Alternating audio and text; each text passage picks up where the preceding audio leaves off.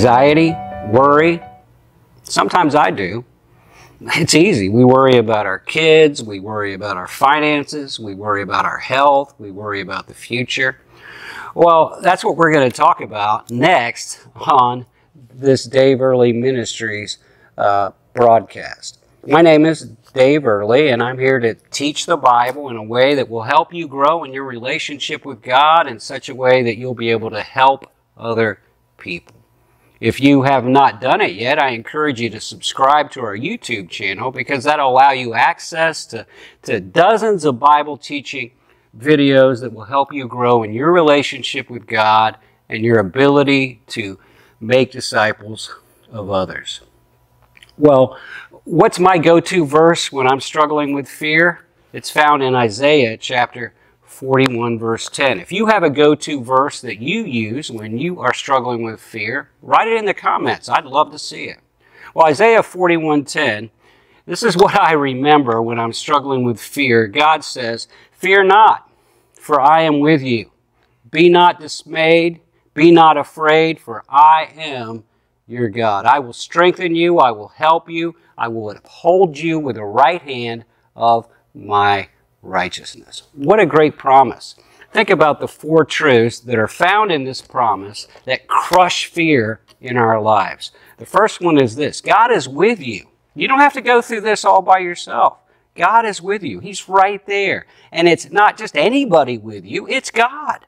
Infinite, almighty, all knowing, all wise. God.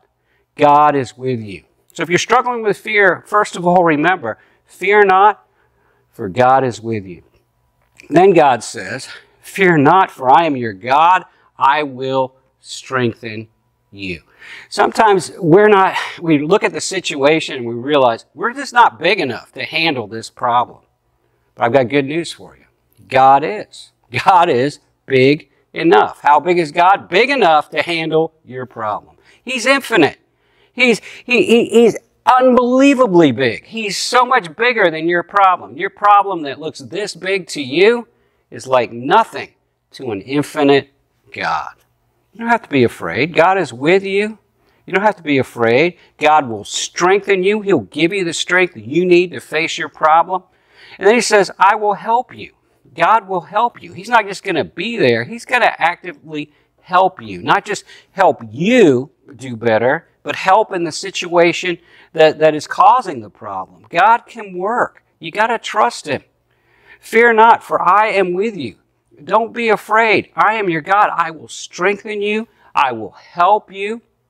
And I will hold on to your right hand. I will uphold you with my righteous right hand. Now, in those days, the right hand of a king was, was considered extremely important and powerful. It was the hand of authority. And God said, you know what? When you're struggling, when you feel like you're all alone, when it's dark, when you're confused, when you don't know how to take your next step, don't worry.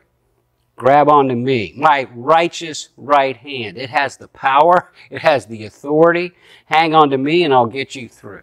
I know when my kids were little, so often they get scared. They want to just come and hold your hand when you're walking through a big crowd or a dark place.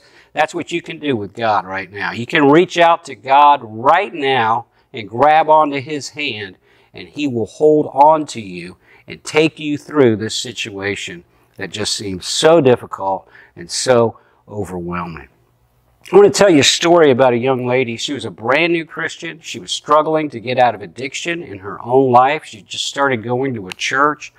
And uh, she came home one night and uh, was walking to her apartment, and a man came out of the bushes and put a gun to her head and forced her to go inside. Now, she didn't realize at first, but she'd heard something on the radio about a man who was accused rapist. He'd murdered four people and escaping out of uh, jail that day. His name was Brian Nichols. Her name was Ashley Smith. Well, she had a choice. She could respond in fear or could she, she could respond in faith. And they just talked about this, this verse and, and the fact that God helps us, God's with us, we can trust Him. And so she began to calmly talk to him. And she talked to him all through the night. In the morning, she fixed him pancakes And by the morning, it was such that he was willing to let her go. And he came to understand that he needed to turn himself in and stop hurting people. Well, her life was spared. His life was spared. God did a wonderful thing because she did not give in to fear. And I want you to know if that new Christian could not give in to fear, you cannot give in to fear today. God is bigger than your problem. Now, if you enjoyed this video, I encourage you to share it. If you got some comments, make those at the bottom of the video. And if you haven't subscribed to this YouTube channel, please do so right away.